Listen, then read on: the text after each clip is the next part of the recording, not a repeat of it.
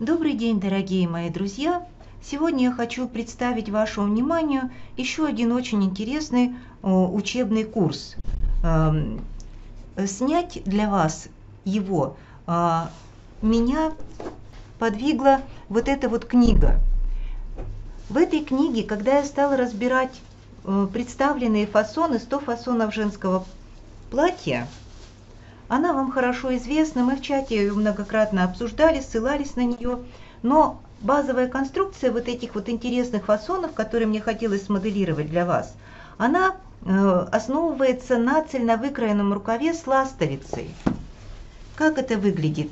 Ну, например, на страничке 88 вот такое платьице с цельнокроенным рукавом с ластовицей. Видите, показано вот здесь слева Картинка справа ластовица. И еще, например, посмотрите вот на эту картинку. Здесь платье на барышне с зонтиком. Это цельновыкроенный рукав с ластовицей. И на этой стороне у нас три платья.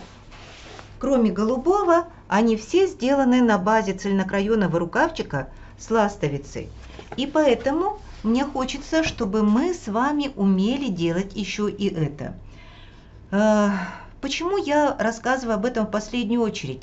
Потому что вы понимаете, что обработка уголков ластовицы – это всегда будет проблема. И для того, чтобы вы смогли это сделать, поставить усилитель, аккуратненько проклеить и сделать это все до мелочей точно, и красиво, и надежно, и практично, нужно иметь достаточный опыт. А мы с вами все-таки находимся в стадии обучения – но, это первое но, но тем не поэтому я предупреждаю, кто еще чувствует себя слабоватым, вы за это не беритесь. Второе, кому это подойдет?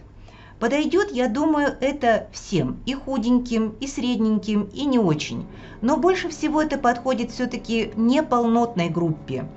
Почему? Потому что вот эти уголочки, по моему опыту, они имеют все-таки, как мы их не усиливали, там надо строчить в 0,1, они все-таки непрактичны, то есть со временем они у нас рвутся, мягко говоря. И чтобы они не рвались, пожалуйста, делайте это из тканей эластичных достаточно, не жестких, сухих, типа какого-то натурального шелка или еще чего-то, да, а ткани, которые достаточно мягкие. Может быть, это трикотажные будут полотна, хотя, хотя в трикотаже и без ластовиц все лежит хорошо.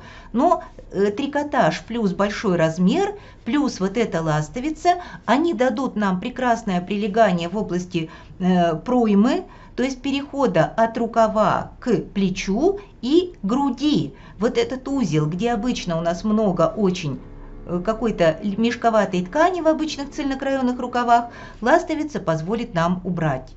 То есть и ластовица, наличие ластовицы позволит уйти от больших прибавок.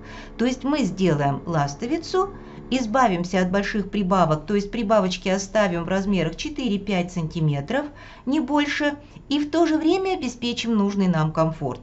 То есть сочетание ластовицы, маленьких прибавок и подходящей для этого ткани, чтобы она была прочной, плюс технологии обработки, дадут вам желаемый, практичный, интересный и необычный на сегодняшний день результат.